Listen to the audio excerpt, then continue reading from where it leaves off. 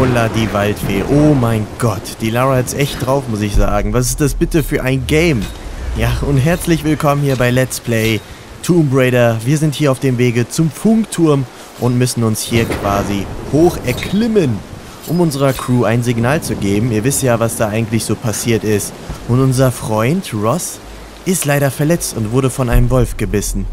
Na, wie geht die Reise jetzt hier weiter? Oh, Backe.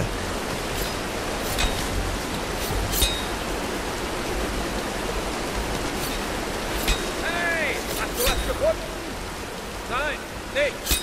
Was? Nicht. Hier oben ist niemand. So weit rauf schafft's niemand. Sollen wir zum Bunker zurückgehen? Nein, wir warten den Sturm ab. Alles klar. Wachsam bleiben. Gehen wir rein. Bitte verschwindet, ihr blöden Wachmänner. Schnielpriester, oh mein Gott. Ist das eine gute Idee? Wir haben Warum nicht entspannen? Später kriegen wir bestimmt wieder Wrackdienst. Wofür Sie ihn wohl benutzen? Was? Den Funkturm? Ja, er funktioniert noch, oder? Vermutlich. Leute von uns bewachen ihn Tag und Nacht. Vater Matthias will nicht, dass sich ihm jemand nähert. Glaubst du, er hat Verbindung zur Außenwelt? Warum glaubst du, dass kein Überlebender es so weit schafft? Wie meinst du das? Matthias weiß genau, wann ein neues Schiff kommt. Wir haben immer genug Vorbereitungszeit.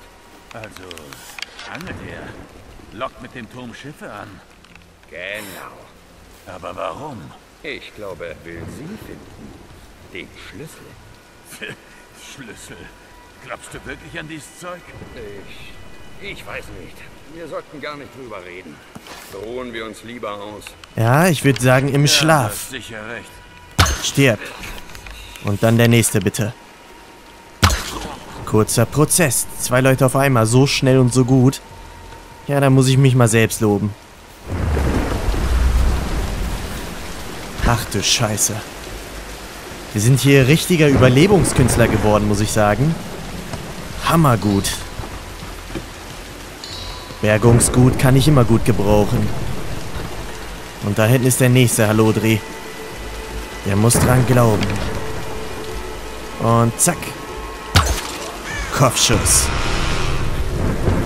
Gemerkt haben sie, glaube ich, nichts, oder? Ich hoffe nichts. Lässt man natürlich hier transferieren. Das ist der einzige Grund, warum ich hergekommen bin. Hier ist noch ein Büchlein. Untersuchen wir das mal. Könnte wichtig sein. Ich habe mit einigen Dorfbewohnern der Insel gesprochen. Es war zwar verboten, den Palast zu verlassen, doch das focht mich nicht an. Meine Pflicht ist klar. Wahrheitsfindung. Aber die Geschichten hier sind kaum zu glauben. Gerüchte sprechen von einem Bündnis der Königin mit der spirituellen Welt. Angeblich beherrscht sie Sonne und Regen. Ihr Land ist fruchtbar, alleine weil sie es will. Das muss Unsinn sein. Aber wo rührt derlei Geflüster her? Kontrolliert sie so ihr Volk durch Ausnutzen primitiven Aberglaubens? In allen Augen lag Ehrfurcht, als sie von ihr sprachen, doch ich spürte auch Furcht. Ihre Untertanen werden gut behandelt. Die Steuern sind moderat und der Schutz durch die Sturmwache ist ohne Tadel. Kein Wunder, dass einige sogar zu ihr beten. Als wäre sie nicht bloß eine Königin, sondern fast eine Gottheit. In ihrem Volk Unzufriedenheit zu schüren, könnte schwieriger werden als erwartet. Oh Mann, eine Art Fake-Gott, oder was? Botschafter Entdeckungen. Oh, Backe, ihr wisst ja selber, dass man hier versteckte Botschaften quasi finden kann. Normalerweise ist das ja eher unsere gute Freundin Sam, beziehungsweise eher, ja, auch Riot eigentlich, die viel dokumentiert, aber Sam eher am meisten. Von der Crew. Aber das zu der Sache. Schnell weiter. Oh Mann, wieso bin ich ins Wasser gesprungen? Der Sprung war glatt daneben. Wo lang müssen wir überhaupt? Da oben lang, oder was? Heiliger. Okay, dann nichts wie los. Wir haben ja unsere Axt hier bekommen, beziehungsweise unseren, unsere Spitzhacke hier von Ross. Damit wir hier ganz locker und easy hochklettern können. Und was ist hier? Ach so, Feuer.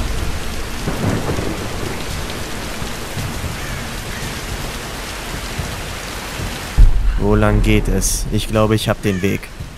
Einmal hier rüber. Zack. Und jetzt einmal hier auf den Brocken. Zack. Wie praktisch. Ja, und hier ist durchgehend schlechtes Wetter. Ich glaube selbst nicht. Hammer, was hier abgeht. Naturkatastrophe hier. Orkan Sandy. Oder was war das nochmal? Was in Amerika passiert ist. Oh oh. Ich muss mich beeilen. Alles kracht ein. Nein.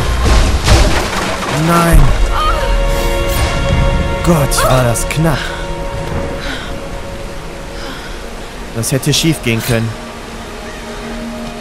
Ach du Scheiße. Lara, bist du da? Finden Sie den Bunker. Reyes, wo bist du? Hast du Sam gefunden? Wir verfolgen ihre Spur. Gut. Ich will versuchen, ein Notsignal von einem alten Funkturm da oben zu senden. Irgendwelche Tipps? Du musst die Kommunikationskonsole finden. Müsste aussehen wie eine alte Telefonvermittlung. Okay. Ich sag Bescheid, wenn ich dort bin. Ja, das wäre gut. Das wäre sehr gut. Was ist denn da hinten, bitte? Ah, ich glaube, hier können wir grinden. Machen wir doch mal hier gleich. Oh, shit. Wir kriegen Besuch. Das muss alles nicht sein! Shit, Molotov-Cocktail. Ach du Scheiße. Der ist will's wirklich wissen. Fuck, wir müssen die Pistole rausholen. Verdammte Hacke. Ach du Scheiße. Ja, mit Bogen kämpfe ich ehrlich gesagt nicht so gut, wenn es zu viele sind. Wenn es nur ein, zwei sind, dann mache ich das auch mal gerne mit Bogen. Und ich hoffe auch, dass mein Bogen irgendwie stärker wird oder wir es irgendwie aufrüsten können. Fehlt mir ein bisschen, aber das kommt bestimmt noch. Und hier haben wir wieder was Schönes. Das kann ich mir wieder nehmen. Einmal kurz die Fackel anmachen. Ihr kennt das gute Stück ja, was ja auch natürlich typisch Survival ist. Richtig geiles Game, unglaublich. Macht richtig Laune. Und was haben wir bekommen? Tada, wieder Bergungsgut. Dankeschön. Dann mal weiter.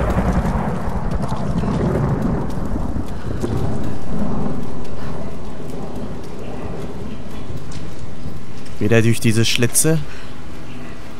Oh oh.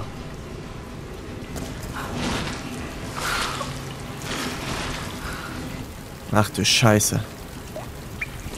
Ich habe kein gutes Gefühl dabei.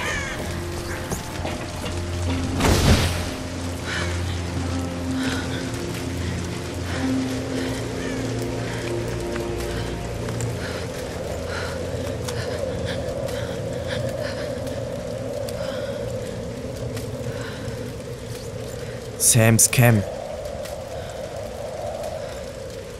Es ist bestimmt ein mechanisches, kein elektrisches Problem. Jetzt, Alex.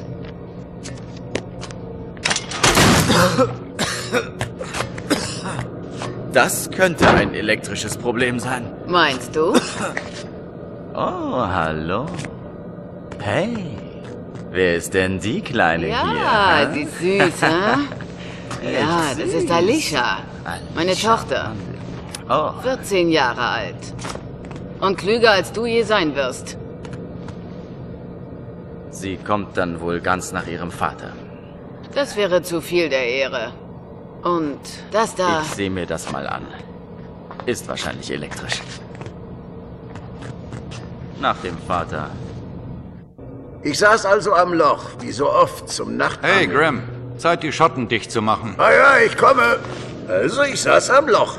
Da springt mich plötzlich dieses Ding an. Es kam direkt aus dem Wasser. Also gab ich ihm eine Kopfnuss. In neun von zehn Fällen ist die Sache dann erledigt. Eine Woche lang konnte ich nicht mehr schlafen. Und ich trinke seitdem nicht mehr. Wir sehen uns beim Essen.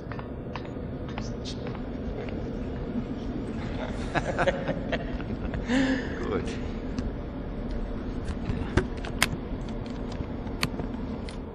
Okay, für die Zwischenschnitte. Danke. Dr. James Whitman, Filler 15, Take 3 und Action. Okay, dann pack ihn schön fest und schneid ihm den Bauch entlang. Genau so. Ja, ungefähr. Oh Gott, Cut, Cut, Cut! Cut! Äh, kommt er gleich wieder? Dr. James Whitman, Ich gehe ihn holen. Archäologe. Ein weltberühmter Archäologe. Ein Entdecker. Der weltberühmte Archäologe so Dr. Fisch. James Ich kann Whitman. doch so einen nicht einfach Es ist ausnehmen. nur ein Fisch, okay? Sie ja, schaffen nur das. ein Fisch. Dieses verdammte Reality-TV-Business. Ich möchte den Menschen Kultur nahebringen, Sam, und kein Essen. Ah, Nichts für ungut. Die Zuschauer wollen Inhalte, Dr. Whitman. Sie wissen das. Bis wir das Königreich gefunden haben, brauchen wir Aufnahmen wie diese. Kommen Sie, noch einmal von vorn, okay? Sie werden dann bestimmt aussehen wie ein Profi, wenn es fertig ist. Dr. James Whitman, Filler 15, Take 4, Action. Okay, pack ihn richtig fest. Und schneid ihm den Bauch lang. Ich kenne die Karten so gut, ich sehe sie selbst mit geschlossenen Augen. Aber was, wenn Yamatai doch nicht im Drachendreieck liegt und... Das hast du bei einer Ausgrabung deines Vaters gefunden. Du kamst an, um es mir zu zeigen, in deinem Pinguin-Pyjama. ich war fünf Jahre alt. Das war mein erster Ja. Pfund. Du hast einen tollen Instinkt, Kleine. Du musst ihm nur vertrauen. Hm, das hat mein Vater auch gesagt. Er hat immer auf seinen Instinkt gehört. Was auch geschah. Er wäre sehr stolz auf dich, Lara. Wir nähern uns dem Sturm. Naja, was auch kommt. Wir stehen es durch.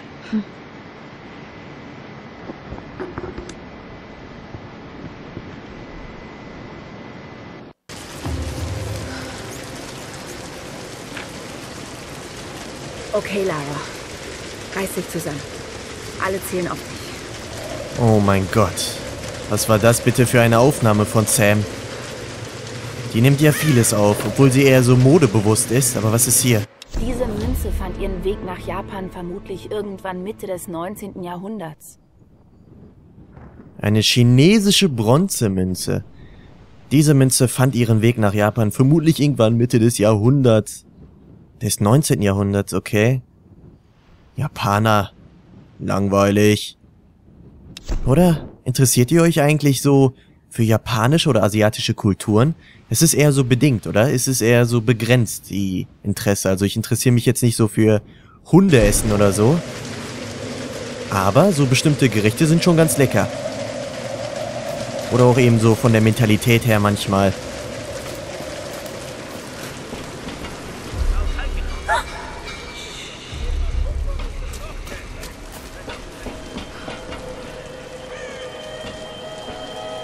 Glaube, wir kriegen Besuch.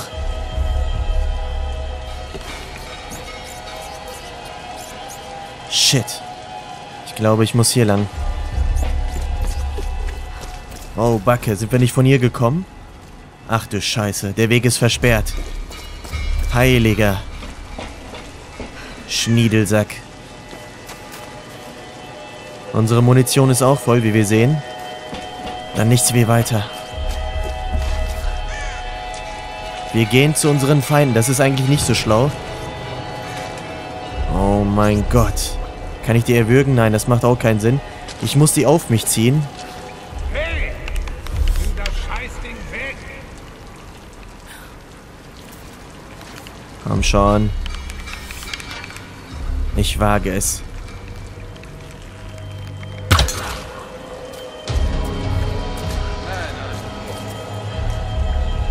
Haben die wohl nicht gecheckt.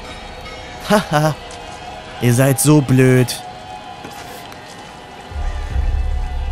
So blöd wie Anton aus Pokémon. Und da ist der nächste. Zack. Auch sneaky. Wie gut ist das bitte? Okay. Wie viel haben wir denn hier bitte ausgemacht? Schade, dass ich die jetzt auch nicht die Feinde sehen kann, wie bei Batman.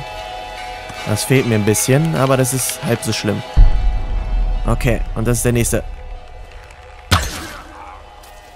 Richtig gut. Da fehlt nur noch einer, glaube ich. Der letzte. Dein Ende kommt. Ich glaube, der schweißt da irgendwas, aber Jetzt schweißen wir ihn. so, und ist da jetzt jemand am Licht oben? Da bewegt doch einer was, oder? Oben muss einer sein, glaube ich. Komm schon, greifen wir mal das Licht an. Nein, da ist einer, ich sag doch. Vielleicht treffen wir den so. Shit, hat nicht so geklappt. Vielleicht können wir das Licht kaputt machen. Oh, verdammt. Durchgebrannt. Dass die nach so vielen Jahren noch funktionieren.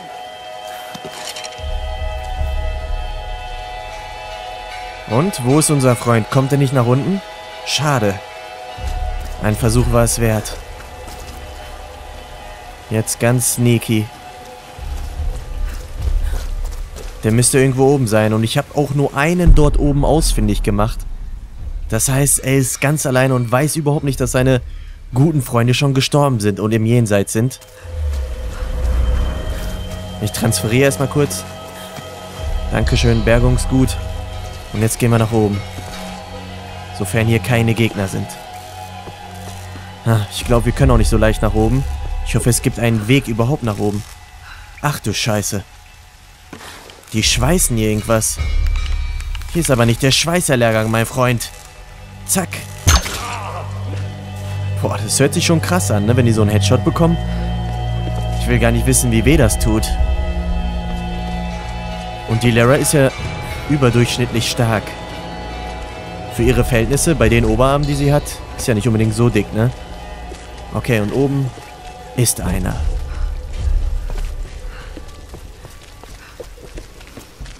Die Frage ist, wo? Okay. Da ist einer. Und... Umbringen. Schnell. Sneaky. Und jetzt der nächste. Hier. Zack. Richtig gut. Alter, das war ja total sneaky jetzt. Alle umgebracht, ohne entdeckt zu werden. Heiliger. Was suchen die Soldaten hier nur? Sieht so aus, als ob das Russen sind. Zumindest war ja ein Anführer von denen ein Russe. Oh, Backe. Okay, ich habe eine Idee. Shit, die haben mich gemerkt. Nixer, Bruder. Oh Gott. Verbrenne gleich. Hier, durch die Lücke. Schmeckt's? Lass es dir schmecken. Feuer als Gewürze. oh Mann, ich dachte, es hätte geklappt, aber dem war nicht so. Jetzt können wir eigentlich rüberspringen. Und voila. Das habe ich hier oben gar nicht gesehen, wenn ich ehrlich bin. Wir hatten echt Glück. Sehr viel Glück. Was für ein Turm, unglaublich.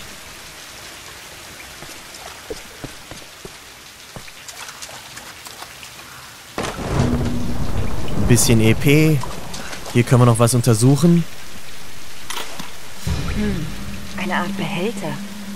Wer hat das zurückgelassen? Das würde ich mich auch mal fragen. Und eventuell muss ich hier hoch. Kann das sein?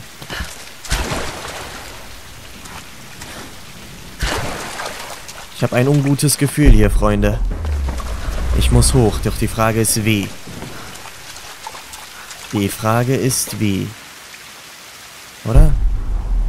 Ja, ich muss hoch und ich habe auch vielleicht eine Idee. Aber nur vielleicht. Ich glaube, ich komme nur von unten hoch irgendwie. Weil hier sieht es nicht danach aus, oder? Ne, doch hier oben. Das habe ich ja gar nicht gesehen. Dieser Bunker. Zweiter Weltkrieg. Wahrscheinlich japanisch.